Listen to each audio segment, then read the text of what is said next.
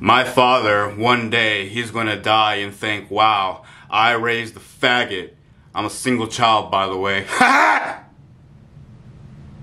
just gave me a nice hard lesson telling me, hey, you know what? Some people just aren't gonna like you, no matter how badly I want them to like me.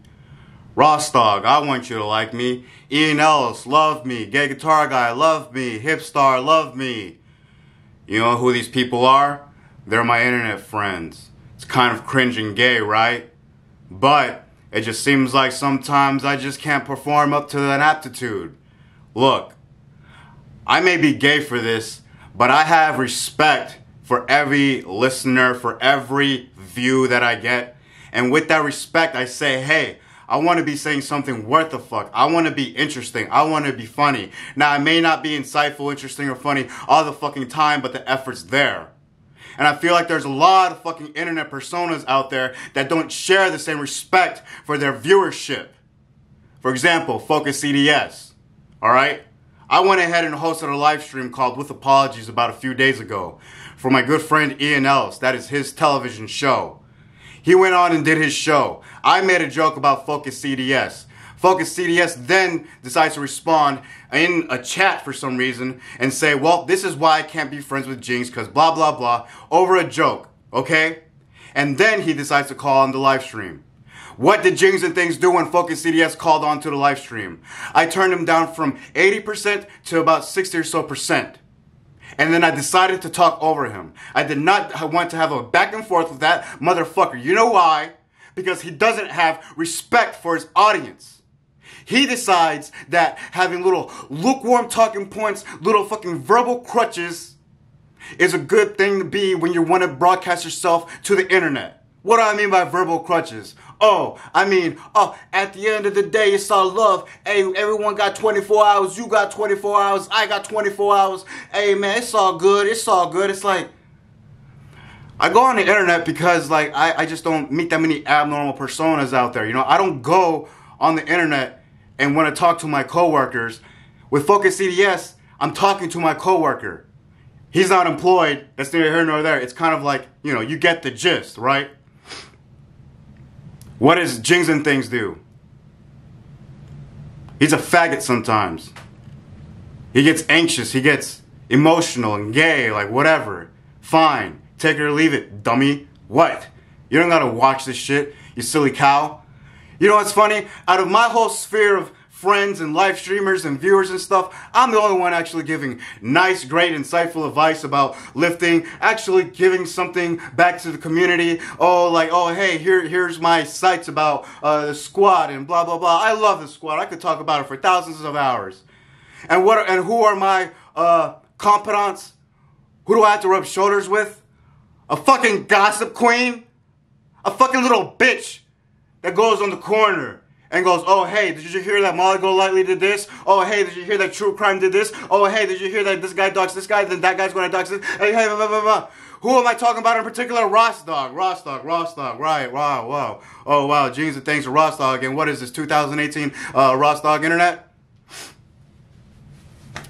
He went from pretty much trying to be a junior with apologies like we are with Soup Party.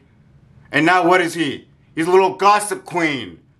But I think what it is is he doesn't have the same respect that he used to have from his peers that did the live streams with him that that were just the junior with apology streams just the you know talking shit just uh you know making jokes barbs blah.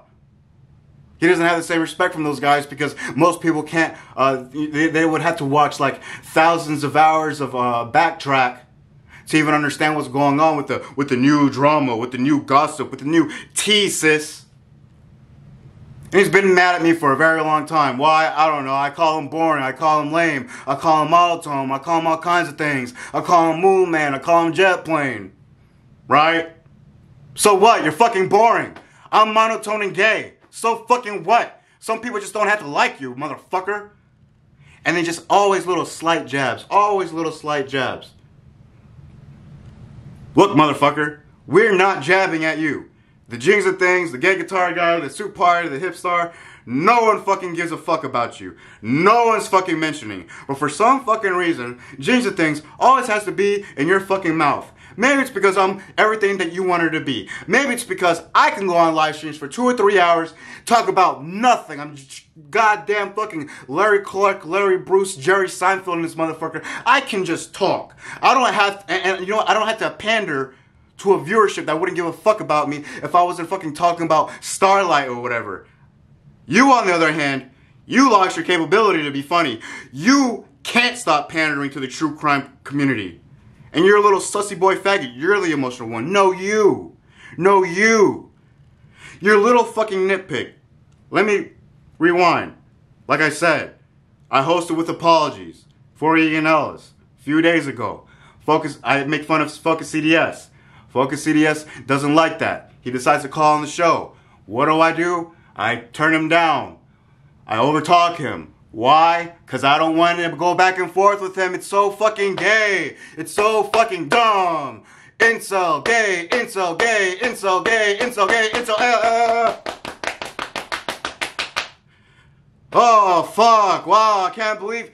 You don't believe me? Go watch the fucking Focus CDS show and, and tell me about the humorous, amazing back and forth and banter that fucking Focus can do. You just live in your mom's basement. You don't make any money. You get nothing for Christmas. Man, man, man, man, man. I'm a real man. You're not a real man. I'm not a real man. You're not a real man.